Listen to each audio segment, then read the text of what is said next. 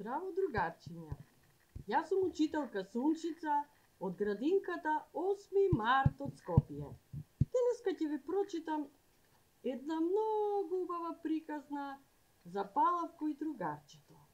Беше убав сончев ден. Како создаден за рибарење, морето беше мирно и тивко. Рибарот и неговиот помошник Морнар го подготвуваа бродот за повторно испловување. Само што пристигнал на отворено море, морето силно се разбранува.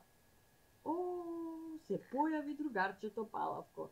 Траво, траво, ги поздрави возбудено. Дојдовте во вистинскиот момент. На моето другарче Делфинче, многу му е потребна моја, вашата помош. Тој е многу поболен одо што бев јас минатиот пат. Морнарот веднаш го зеде токи вохито и се јави кај нивниот пријател ветеринар. По неколку минути се слушна звук на небото. Брбр, брбр. И се појави хеликоптер. Од него по скалите набрзо се симна докторот ветеринар.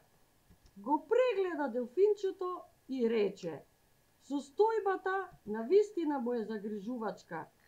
Веднаш треба да се оперира. Треба веднаш да се пренесе во болница. Но како ќе го направа тоа? Мојот другар е многу тежок, размислуваше Палавко. Како ќе го однесат во болница? Во хеликоптерот? Нема да го собере. Да, да, се слушна ушеднаш еднаш брбар. -бар. И така го катија на носилката, го однесоа деца во ветеринарната болница. По неколку часа на Токи Воки пристигна радостна вест. Операцијата е успешна, Делфинот е спасен. По една недела се враќа дома. Палавко беше пресреќен. Да не беа хеликоптерите толку брзи, ќе можеа ли ветеринарчето да му помогнат. Така морнарот и рибарот имаа едно убаво морско пријателче. Ова беше децата приказната, деца за Палавко и другарчето.